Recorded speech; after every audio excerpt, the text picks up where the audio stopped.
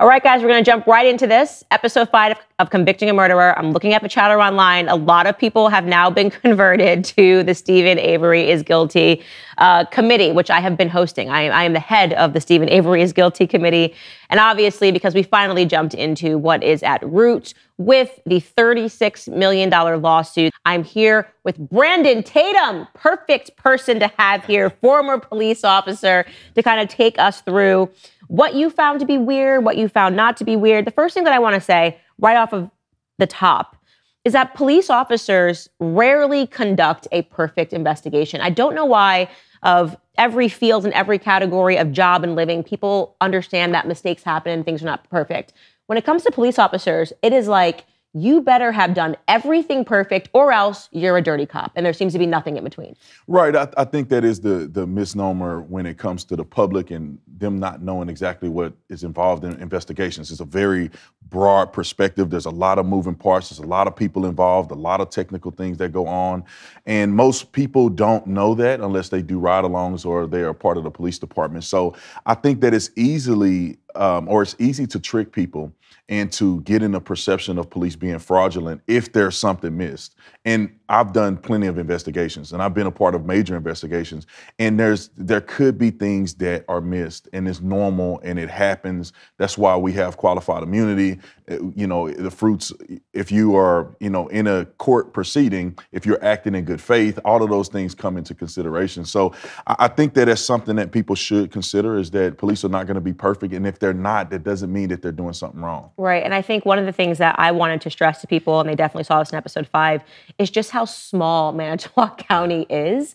I think a lot of our perception about police officers and police forces really comes from the TV screen, and people just think the FBI swoops in. Every every police force has tens of thousands of people at their disposal, and it's just not that way when you really get to these really small towns. You know, they're relying on the same people. The building is really small, um, and of course, obviously, with Steven Avery and this Netflix narrative, these police officers, which I really appreciated sitting down with them, said hindsight is always 2020. If we knew that Netflix was going to come along and make a docu series and every every single thing that we did was going to be under scrutiny. Yeah. I wish we would have done this one thing different. I wish we could have done this, and they and they freely admit that in the docu series.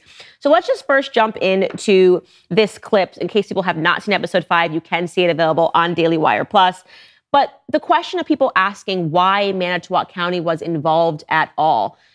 There's a missing person and the person's car is found in Manitowoc County. So this might be the reason why they were initially involved. Let's watch the clip. I think Making a Murder reviewers came away with the impression that nobody from Manitowoc County was supposed to be involved at all in the Teresa Halbach investigation. And yet, not only were they still very much involved, but they were also the officers that were finding a lot of the important evidence. The department that should not have been involved was very involved, but not only their involvement, um, it's them hiding their involvement. In Making a Murder, Sheriff Pagel from Calumet is stating that the only role that Manitowoc played was to provide resources, to provide equipment. When we needed something, they went and got us that. You know, that's all they did. They provided that piece of equipment, and that's their role and their only role in this investigation. But prior to that, the 5th, the 6th, the 7th, and the 8th, I think there were at least three or four where they talked about the role that Manitowoc and other counties played. This wasn't like it was just Calumet and Manitowoc. The place was swarming with cops from almost the very beginning. Our department will be supported by the uh, State Patrol, the Manitowoc County Sheriff's Department, the state.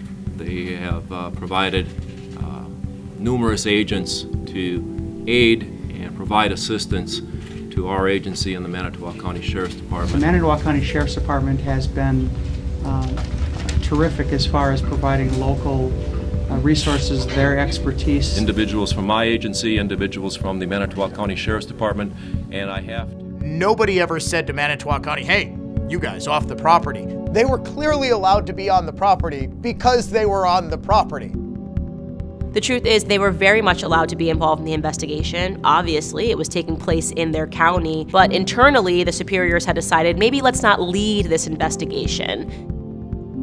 By investigation, Calumet County was going to be doing interviews, obtaining subpoenas and search warrants, examining records, and conducting the searches. Manitowoc County was going to assist in that process. For example, if certain resources were needed during searches, they would have manpower that they could provide if, if we needed that. And the Manitowoc District Attorney took it even a step further. Manitowoc County District Attorney Mark Rohr said on the first day of the search of the Avery property that he did not want any Manitowoc County officers on the property without somebody else with them. He did that to avoid any perceived uh, conflicts of interest due to that $36 million lawsuit Avery had filed against the county. It was Manitowoc County officials that made that decision themselves. No one demanded it or required them to hand over the investigation or required that either Calumet officers or a DCI agent be with them at all times. So if, if the prevailing belief was that officers were somehow involved because they wanted to plant evidence, then why didn't they just lead the investigation themselves like they were allowed to do? So just make that clear again. So Teresa, the phone call comes in that Teresa's missing from Calumet County, and then her car is found in Manitowoc County, obviously because it's found in Steven Avery's lot, and this just happens to be where Steven Avery lives. And the clock is ticking down. They don't know if she's uh, still alive. And to make it clear to people, they had every right. They did not actually have to pass off this investigation. They could have led this investigation, and internally they said, you know what? Obviously, it's going to look bad if we leave this investigation. We see that her car is here. Public perception is going to be that, oh, you know, why are your hands still here? And so they internally make a moral decision and, and say, we're going to actually let Calumet lead the investigation and we're just going to provide manpower because this lot is huge. You know, this woman is potentially still alive. We need to do what we can do and bring in outside forces. And you also see that deceptive editing. They didn't show you that they had freely admitted that in multiple press conferences that Manitowoc County was going to be assisting in the searches. What was your perception of how they handled this as a former police officer? Well, I think they, I think if they can go back and change it, they probably would, because it, it still will be a conflict of interest because you have a person who was wrongly convicted even if they were acting in good faith initially. This man was going to do 32 years in prison. Thank God for DNA, he got out. And so, what you would want to do, and this is go back to the go back to the premise that we were talking about before about the perception of impropriety with police investigations. Mm-hmm. You want to eliminate any chance because in the court of law, the jury is going to have to, you know, convict somebody beyond a reasonable doubt. And when you have a conflict of interest, it could create a reasonable doubt. Mm-hmm. And when you have Manitowoc County officers, investigators ending up finding key, crucial um, items of, of, of information that literally led to probably him getting convicted, um, would yield a conflict of interest. So I think that it doesn't necessarily mean that they did something wrong or they were attempting to cover up or plant evidence, but it definitely, you know, puts a question mark in people's minds of with all of these agencies there, why did they still need to be involved? With the superiors understanding that this could cause a conflict of interest, mm. we need to have people following them around and making sure that this doesn't look bad. Why wouldn't they just remove them altogether, it, at least in the investigatory part? holding the perimeter, mm-hmm. actually doing resources would be a good option. But having them in, you know, uh, Steven Avery's home, finding evidence, it, it, it, created a storm that probably shouldn't have happened. And in an investigation, you don't want to create that mm. because then in court you're going to have an uphill battle, and you could get somebody off mm. that should be convicted. So the way that I run it in my head is, I think the exact opposite way, which is if this woman was actually still alive and the difference between finding her and not finding her as you're running against the clock would have been why weren't more officers on the property, right? And you say, oh, well, we told all of Manitowoc County, even though this was their county, to take a step back because Steven Avery was involved, you would have had the same criticism. It would have been, why? You knew this person was missing. You knew that this is where her car was. If you had gotten to her 12 hours earlier, she would have been alive. And all you had to do, there's, in many scenarios, there's no way police can win until you actually know the ending, which is why I think these officers say hindsight is 2020, right? At this moment, they don't know she's dead, right? They don't actually, they don't know that Steven Avery is involved. It could have been any other person that was on that property. It could have been his brother, his cousin, his niece. They have no idea. And they're coming into the situation thinking, we're racing against the clock and we're trying to find this young lady. And if I was a person that was potentially distressed and on this property, 40 acre lot, I, and even if I'm the parent of someone else, I'm like, send every single police officer because at the end of the day, you're talking about money. We can deal with the perception and the public versus somebody's life, which I would have been like, this is the priority. We Right. need to find this girl. I think we're on the same page when it comes to that. And I think most people will agree with you on that. I think that they could have been a little more strategic. Mm. When you're talking about canvassing 40 acres, of course, every officer counts and, you can, you know, go from there. People would understand that. But when you start getting to a more intimate investigation, meaning that you're going to now go in Steven Avery's home, you know, now, now you guys going to actually physically be in there, even though you have one person supervising you, that person is not sitting there watching every officer and he can't be in two places at one time. So I think that they could have um, kept the officers there to, to canvass the lot, but then when they knew they were going to go to Steven Avery's house, they could. I, I think they should have slowed down and and and kind of re, you know, I, I would say reimagine, but they should have uh, try to reevaluate the tactics. And, and this is why you want to do that because you could possibly find evidence that will convict a person.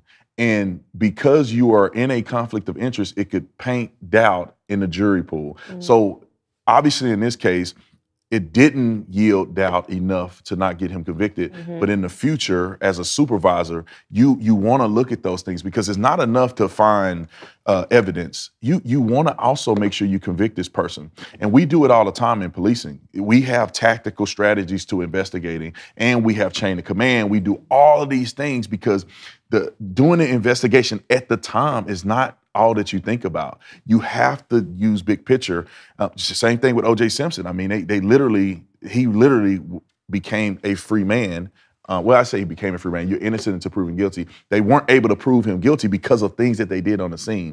And future investigations teach officers to say, okay, when we do this, we have to make sure we have chain of custody, even in the heat of the moment. It- when we have situations on the police department where there's a murder scene, we all we are already thinking about how can we make sure we secure this investigation so we don't mess around and get a killer off because we we made mistakes during the investigation. But that's public perception uh, versus actual the fact the factual investigation, which is why I- think ultimately he was convicted because, like I said, they were allowed to be on the property. So if you're the jury and you're looking at this case and you understand, yes, I'm sure because the Netflix docuseries, people are thinking that they're not supposed to be there, but they could have even led this investigation and they didn't. They they they yielded it and said Calumet lead it. I think you're right that this gave Netflix fuel. Um, without question. Obviously, we see that because there are still people that are like, well, what were they even doing on the property? They shouldn't have been on the property and things of that nature. But there was a reason that he got convicted, and the jury thought they they acted in the right capacity, which I think you'll see more of, especially as we get into Brendan Dassey. The Bible is the root of wisdom, inspiration, and spiritual nourishment. The Hallow app empowers you to explore the Bible's profound teachings and effortlessly incorporate them into your daily life. A great place to start while you deepen your understanding of the Bible is to check out Father Mike Schmitz's Bible in a Year, available now on the Hallow app for brief daily readings and reflections. Here you can dive into an extensive library of Bible reading plans accompanied by insightful reflections and audio guided meditations. So, whether you're a seasoned Bible reader or just starting your journey, Hallow provides a platform for you to engage with Scripture like never before. Studying the Bible's literary brilliance has influenced countless writers, poets, and artists throughout history. By studying the Bible, you'll gain a deeper appreciation for the power of storytelling, symbolism, and metaphor, enriching your understanding of literature across all genres. The Hallow app also helps you connect with a community of like minded individuals, sharing experiences, insights, and encouragement along the path to spiritual growth. So download the app for free at hallow.com slash Candace, and you'll get three months free. That's hallow.com slash Candace. I want to move now to the Netflix spin on the $36 million narrative. Really, what this gets into is Penny Beerntsen, years ago, obviously, she survives a sexual assault and she works with somebody to create a sketch of what the person looks like that committed this crime. They line up a bunch of men, one of them being Steven Avery. Why why Steven Avery? Because Steven Avery is somebody local who had been in a lot of trouble, you know, before. Steven Avery also was uh, spending 6 years in prison for uh, putting a gun to his cousin via marriage and the toddler in the car. You know, this is not a guy that was just plucked up out of obscurity, is what I mean to say. Kind of looks like him. Penny is certain this is the guy that sexually assaulted her. Penny says, yes, 100%. She testifies against him, says that this happens. I think what people didn't understand and what we showed is he had a very, very, very high mountain to scale in order to win this $36 million lawsuit. You have to be able to prove that the police officers despite knowing pretty much that you were not the person that was right, this is pre DNA evidence, so it wasn't like they had anything to attest against. They trusted this victim that she accurately recalled the person. And of course, because of that, didn't widen their search. I am convinced he would not have won this $36 million lawsuit. I am convinced that his lawyer advised him that he would not win a $36 million lawsuit because the police weren't in it to put him in prison. They were in it to help this woman find who aggressed her, and she was certain that he had done it. And she was incredibly remorseful for what she had done when, when, when he came out. She said that she would live with that guilt for the rest of her life. She genuinely made a mistake. The mistake was not the police officer's mistake, which is what he would have had to prove in, in court. How did you feel learning that he had settled this lawsuit, first and foremost, and about the idea that this really wasn't the police officer's fault in the first place, that Penny thought that she had the right person? Right, yeah, it's, it's very complicated because you know you have the original um, Making a Murderer documentary where they present certain facts, and, and, and it can be very confusing unless you were in the courtroom hearing both sides. Um, because it appeared, of course, his attorneys made the claim that he needed some money to continue to fight, and so he settled for four hundred fifty thousand or something like that, so he can keep paying them to continue to fight. You you are hundred percent correct on an uphill battle. The the burden is on him to prove, you know, to a higher degree, and I think in a civil lawsuit it'll be the preponderance of evidence, meaning he has fifty one percent of the evidence on his side to prove that they were malice and they did something um, that was significant enough beyond acting in good faith, meaning that they intentionally picked him, intentionally coerced this person, mm. intentionally did this, and it wasn't just an accident because clearly they messed up. But if you have a witness point a person out of the lineup, yeah, how did they mess up? Because this is a pre DNA evidence world, only, right? The, so if they had, right. if they were able to test it, then you'd say, okay, you could have tested and realized that yeah. despite her testimony, she was completely wrong. It's hard for us to imagine now because we have forensics. The only argument that they would have is if they there were other leads that they did not explore and they were malicious in it. Meaning that if they had decided because Steven Avery has an incredibly terrible record of, of violence and burning cats and um, doing a lot of stuff in a small town. Everybody knows the Averys and everybody knows that Steven Avery has issues.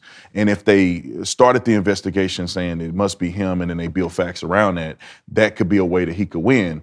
Um, it's unclear if that's even the case. It's very difficult to win an uphill battle when you have an eyewitness mm-hmm. who gets raped, she or, or gets uh, sexually assaulted, and she has a, a, a sketch expert when she's testifying what the man looked like. The sketch expert, according to his testimony, he draws up a person and it happened to look just like Steven Avery. Mm. They that's the reason why he was in the lineup in the first place because right. the sketch artist drew a picture that looked just like him based on penny's description right. so right. it's like what what so did the police do here it would be very difficult but i would say this the only chance he would have is if he could um, illustrate impropriety and it had momentum from the media. Mm. Because if the media is, is putting pressure on the city, a lot of times what they would do is settle. Mm. But in a case where you think a citizen is going to come up against a city that has tax dollars to pay for their defense, and you got a, a, a, a I don't know, you, you hire some cheap guy that's gonna that don't have a lot of experience, it's gonna be incredibly difficult. That's the difference between going to trial and fighting the city versus a settlement. And we've seen this happen in the case with Michael Brown and these other cases where the city settles mm. and they do not have fault. So they just give them the money because they don't want to go through the process. That does not mean that they did anything wrong. Mm. And so in his case, if if the media could have picked it up enough to put pressure on the city, they settle with him, he would win. Mm. It's nearly impossible for him to win if he's going to go toe to toe, especially him as a person. He, he's not he's not the brightest guy in, the, in the, he's not the brightest you know person on the block. And so he's definitely not going to be a good witness for himself. Mm-hmm. He's not going to be able to get on the stand and articulate himself. So I think it would have been, to your point, a, a, a very difficult position for him to actually win that, that, amount of money. Right. As many of you know, I am constantly traveling. Being on the road as much as I am, I don't always sleep great at night, probably because the hotel bedding is not as comfortable as my Buffy bedding back at home. Now that I'm getting ready to welcome another baby, I need as much sleep as I can possibly get. Buffy's bedding is some of the softest you will ever try. Not just that, their sheets are made from eucalyptus and are naturally cool to the touch, which means that you don't have to worry about being a hot sleeper. Buffy is on a mission to help you live comfortably without making our planet uncomfortable. That's why they use earth friendly materials to create more sustainable products. from the first sketch to the last stitch and beyond. They don't just help you feel good today, they contribute to a really good tomorrow. So upgrade your bedding with the Breeze Sheet Set by Buffy. Go to buffy.co and use code CANDACE for 25% off your first order. That's buffy.co, promo code CANDACE for 25% off. And I really think kind of one of the biggest bombs in this episode, which I think people were surprised to learn, was that it there was this concept that people had in these conspiracy forums that the reason the cops potentially killed Teresa and did all of this stuff was because they didn't want to pay out this $36 million lawsuit that was going to bankrupt the city. And it's just so factually untrue. It's just factually untrue. And I, I, I tried to make the analogy of, you know, you get into a car accident, you have car insurance, you've got car insurance. The insurance company is going to have to pay.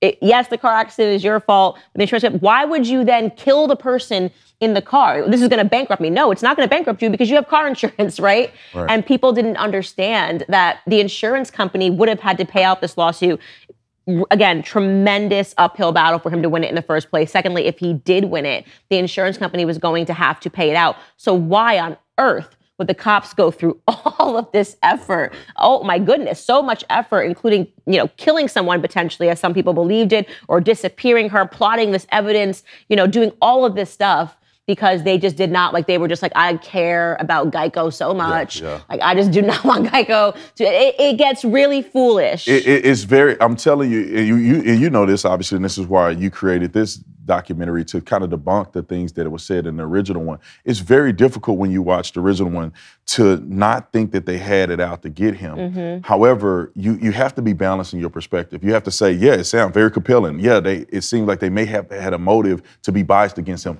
but you you have to also think it is crazy to think that they would have to use the the murder of somebody, plant bones and charred body parts, and it, it, it could happen, but it's highly unlikely to that they have to go through that process when Steven Avery was already kind of a degenerate, mm. and it was only a matter of time before he do something potentially do something else to get his to, to land him in jail or for him not to win this case. And the police officers personally should not have the investment in trying to defend the city in a lawsuit. It's not like somehow they're going to have to pay out of their pockets. The department may be shamed. They already got enough shame for convicting them wrongly in the first place. Mm. So going through murdering somebody is very difficult to believe that they may Not just any kind of murder. far. It's like you know. I mean, she was bur- she was charged. She I mean, was she was shot, stabbed, raped twice, Allegedly. like you know, thrown into a burn pit, charred in his back. It's it's just a lot, you know. And I'm trying to think if there's ever been a case ever where That's where the much. police That's officers went through that much effort You- you to protect the insurance company ever. they're they're a podunk. This is kind of like a podunk town, right? I mean, Steven Avery and they're, they're not very sophisticated people. They're not. They don't have a lot of money, and so for them to pull off the greatest The greatest, the greatest framing in American history would take a lot of manpower, resources, and and a lot of technical intelligence. And you got to have the family in on it, as we're going to start Yeah, to yeah. see. It's like now, it's like there's a lot. 'cause You go, you know, the, fam- the family's got eyewitness reports. I mean, you just would literally need. Yeah, and it's but but see, Candace, too, it's hard because it's like you think, why in the world would a police police department do that? It seems not. It seems possible, but not plausible. But why in the would Steven Avery do it? Right. The guy is literally free. He, he spent 18 years in, in prison, uh, much of which was he was wrongly convicted of. He was free. He was living his life. I mean, he was going to get a little money. I mean, four hundred fifty thousand dollars is not for him. Is like You should be able to answer this question because the criminals, they, they first off, criminals tend to be stupid. You know what I mean? The recidivism rates are high for a reason. They get right back out Yeah. and they commit the next crime. And you go, why on earth? You just got out. Right. You know, why would you go within two seconds and go rob a store? We see this. That actually makes sense. Crime is being committed over and over and over again, and especially, which is why it was so significant in those first episodes to unpack his history with his niece. You know, you're also dealing with someone who has a history of sexual deviancy, a history of violence, no doubt, you know, stemming from animals to human beings. So, you know, he is the kind of person that we see that never really leaves the system. And he hadn't from juvie all the way back. And yeah, he would have had a little bit of money. The family wasn't broke, even though that was kind of how making a murderer made it seem. They had this massive lot. Um, they had another property that was that was further away. So we, to understand the mind of a criminal and why they keep committing crimes is easier than to, poli- to believe that that many police officers were involved in what would only be described as utter like psychopathology. You'd have to be a psychopath, really. Yeah, yeah. To, to all of them would have to be psych. Nobody had a moral conscience. We're just we're just gonna kill this girl, burn her, do all of this because Yeah, we love Geico. That's so far. That's so far fetched. like- like, I said, it's possible, but it's not. Criminals plausible. committing crimes. But one thing that people are not considering too is that, like you said, the recidivisty rate.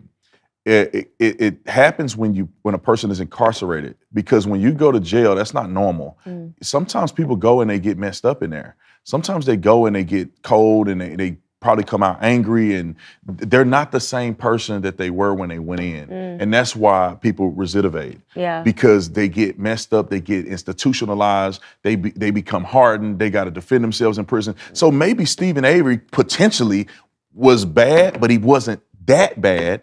But after going to prison for 18 years and uh, for something you didn't do for the most part, he may have gotten out and he may have been a lot worse than when he went in. So it's not too far fetched to believe that when he got out, he may have been dealing with some issues. It's not like they're going to counseling. It's not like somebody is, is consulting him and talking to him and helping him. His IQ was very low and and, and like Which is, it- by the way, criminals do tend to have a low IQ because you think you get. How do you think you're going to get away with this? You know, they they do tend to be very low IQ. So it could be very possible. Difference between a white collar crime Right. and just like a crime on the street. You And know, it could be very possible that he was of- impulsive. I mean, the uh, letters he was writing in prison Right. to his kids: "When I get out, I'm going to kill your mommy." Right. In an instance where he sees the girl there and he gets horny and he say, I'm just gonna, I'm just gonna have sex with her because I don't know, his wife is not there. He could have done that and then in a sheer panic, he has to go and try to cover up the evidence, but he's too stupid to go and get rid of the car, take the the decals off the car. It looked like they removed the license plate, but he, he left the decals on the car.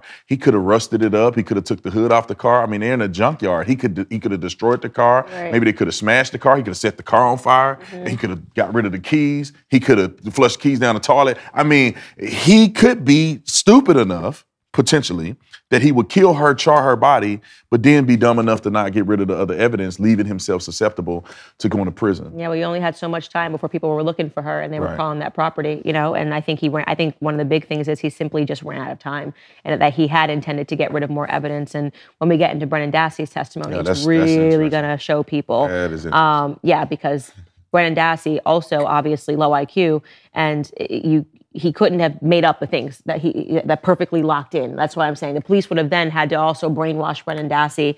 I'm giving way too much away. I don't want to do that. um, medical establishment has been disregarding the lives of innocent babies for decades now. Many have grown callous because it seems surreal to think that over 64 million babies have been lost. Preborn will not stand silent, nor should we. We cannot stand by and let babies die at the hand of abortion, and that is why preborn exists to stand up for those who cannot defend themselves.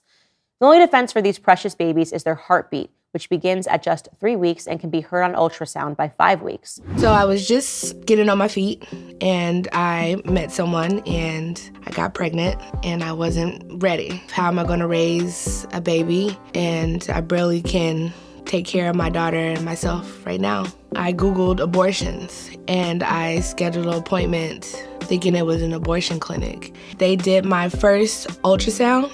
Seeing the, the ultrasound, it impacted me to the point to where I broke down crying. The nurse reminded me that it was a blessing from God. I was thinking about if I wanted to keep the baby or not.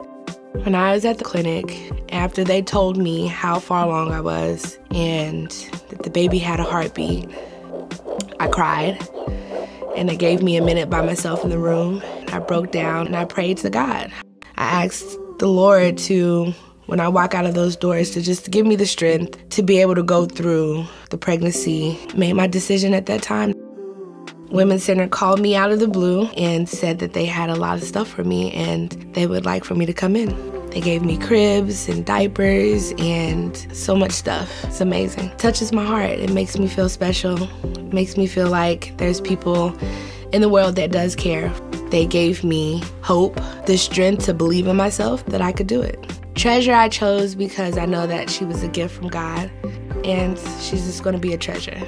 I'm super grateful that I'm able to go down this journey with my daughter, and I'm just super glad that I didn't have abortion. I've learned how to trust God, how to listen to God, and to trust myself, and to do the right thing and not be selfish. it feels amazing. When a mother making the ultimate choice hears her baby's heartbeat and sees the precious life inside of her, the majority of the time, she will choose life. By sponsoring an ultrasound for a mother, you are being the voice of preborn. Please join preborn in the cause for life for just $28. You might be the difference between the life and death of a child. To donate, dial pound 250 and say the keyword baby. That's pound 250 baby. Or you can go to preborn.com slash Candace. That's preborn.com slash Candace. I do want to quickly discuss Colburn because I think that he was Colburn and Lenk definitely fingered by the making a murderer. These are the dirty cops. Want to say right off the bat, I met this guy. Like the concept of him being a dirty cop. I mean, just like a very happy-go-lucky, very much. I felt very bad for him. Is what I want to say. I just felt very bad for him that he was kind of put. He was the person that was chosen uh, to be one of the people that was chosen to be at the center of this conspiracy theory, and just how much he had to endure during this time, and he just comes across to me as like a small town officer who gosh, I don't know, I shouldn't have done that, shouldn't have done, you know. But let's just take a look at another clip from the show regarding Colburn and Officer Lenk's involvement. You've gone over uh, what is Exhibit 138. Yes, sir. It describes you receiving a telephone call from someone uh, who identified himself as a detective. When I received the call, I answered the phone, Manitowoc County Jail. I didn't say Sheriff's Office, I said Manitowoc County Jail, Officer Colburn. He must have assumed that I was a police officer. He didn't give me his name, he just said, I'm a detective from this agency. The detective indicated that there was a person in custody who had made a statement about a Manitowoc County offense, correct? Yes. Okay. He didn't say sexual assault, and he didn't give me a name of the suspect. And what that person in custody had said was that he had committed an assault in Manitowoc County and someone else was in jail for it, correct? Yes, sir. Didn't say prison, in our jail, who may have committed an assault in your guys' jurisdiction was that a matter to shrug off for you? I didn't shrug it off, sir. I did what the caller asked me to do connect him to a detective. I think I said to him, You're probably going to want to talk to a detective. I said, Let me transfer you, and then transferred the call. That was the end of it. Uh, it wasn't within your jurisdiction to take it any further, correct? No, sir.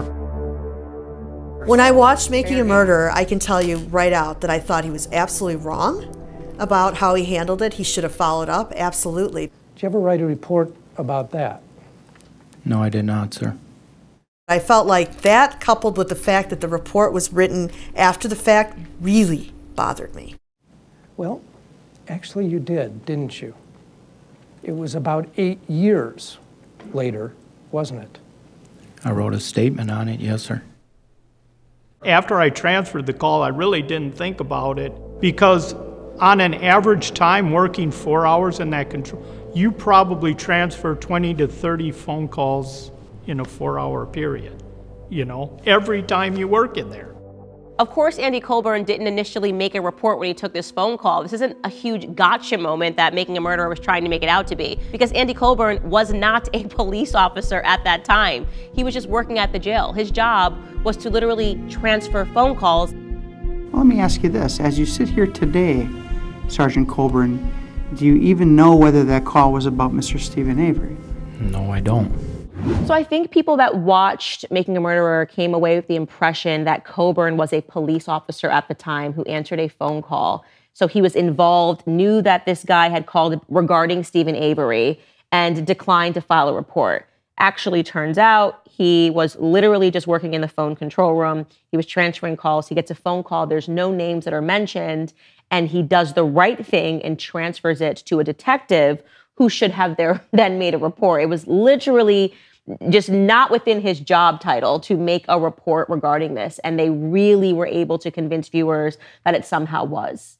Right, and, and and I think that that's problematic, right? Because they shouldn't have left out that important detail. Because even when I watched it, I thought he was a cop. Because Mm-hmm. when he's being deposed, he's wearing uniform. hmm And he- Tricky, he had tricky editing. Right. He had made mention that he was an officer to the person on the phone. Mhm. They didn't go through and classify that he wasn't a sworn officer at the time. And I've been in policing. We have people who are not sworn that are working in our uh, front desk and things like that. It, it, it would not make sense for a person in that position to take concern about a detective calling him to say anything Right. because it's above his pay grade. A person talking to a detective need to refer to a supervisor or a detective. Right. They wouldn't say, "Oh, let me get the information," because they have no idea what a detective need. They have no idea the functionality of the police department, and they have no idea what cases are being investigated. So it, they made it out to seem like he was a functioning officer mm. that had something to do with Steven Avery, or it was known that Steven Avery was wrongly convicted, and he's getting this call in, and he's like, "I don't want to say nothing because we got the guy, and we don't want to mess this up and look bad." When in fact, from what you've been able to prove, which is crucial, that this guy wasn't an officer. He wasn't in the capacity to take a case report. He did exactly what he should have done, referred him to a detective. Mhm. Now, the detective associated with this, whatever he did, Right. should be counted as a problem or not. That dude working in the jail is not going to know any details about Steven Avery. There's probably people call all the time and make false reports, lie, try to get out of jail by claiming that they committed crimes that they Mhm. didn't. And they said assault. They didn't even specifically say sexual assault. Right. Assault can be a physical assault. You could have meant you punched somebody in the face and ran away, and somebody else got in trouble for it. So he just transferred the call. And this became such a huge conspiracy theory that he was somehow involved in the Steven Avery case when it was first going on, and he just simply wasn't. But which one is more sexy? It's Yeah. that you think he a cop and he's got a got the real killer on the phone and he's like, "Don't tell anybody," you know. And, and so of course they this you know omission of of certain things that let you do the deductive reasoning to to lead yourself into believing something that's not true. Yeah, absolutely. Well, that's it. I think it should have been called instead of making a murder, just making it sexy. Yeah, yeah. We're just trying to make this sexy for you guys. Making the murder watch- And they did. They were successful. They made the It was- murder I- sexy, and people were invested, and they believed in it. And it's so great to just be getting so many tweets from people that are saying like, "I'm completely mind blown. Everything that I thought." Actually, is not the way that it is. All right, guys, we are going to have to wrap there. Episode six airs next Thursday, and we have a little teaser for you guys. I hope that I didn't give away too many spoilers. Take a look. Coming up on Convicting a Murderer. The key was the biggest piece of evidence that viewers to this day believe was planted. It was a story that was really tailor made for Hollywood. He was on TV constantly saying, It's Manitowoc County, they're framing me. It's got to be a setup because I, if I didn't do it, they had a plan to stop. It seemed like almost everyone believed these filmmakers. What do we want? Justice! What do we want now? His body language comes across as very suspicious. It looked like he was caught. And that is exactly what the filmmakers led you to believe. Why are you editing my courtroom testimony? You should be still faithful to the facts. I started to realize more and more that this was an entertainment piece. This wasn't a piece of journalism like I thought it was going to be.